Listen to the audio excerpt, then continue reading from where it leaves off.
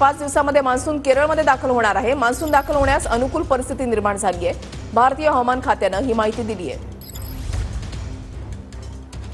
येत्या पाच दिवसामध्ये केरळमध्ये मान्सून दाखल होऊ शकतो.